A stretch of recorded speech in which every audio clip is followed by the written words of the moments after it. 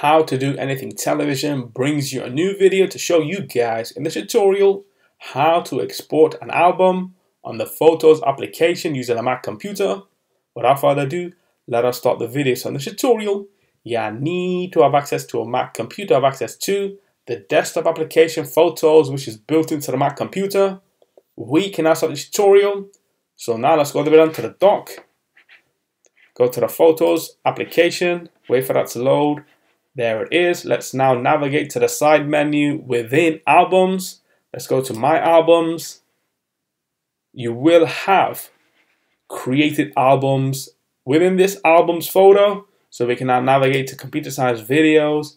And the ideology behind this video is to export the full album in photos or within a folder of photos. So let's now go to the top navigation menu where it says file, go to export we want to export the full album.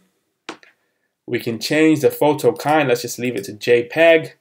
Maximum quality, color profile, most compatible size, full size.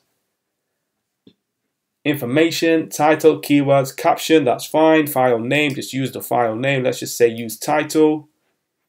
Subfolder if we need to, that's fine. Export.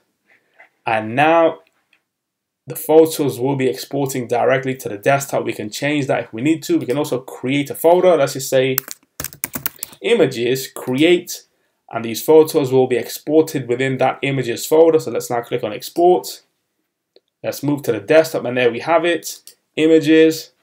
We have these five images exported to our desktop within the folder called images. Let's now click on this. So this is taking me way back to 2019 with the iOS 13 update. Some videos from Computer Science Videos YouTube channel, the camera stand, a power bank on my iPhone 8 Plus at the time. And here we have the dark mode of Instagram on iPhone. So we can now quit Finder. And so that's it for this video. I'll see you guys in my next tutorial.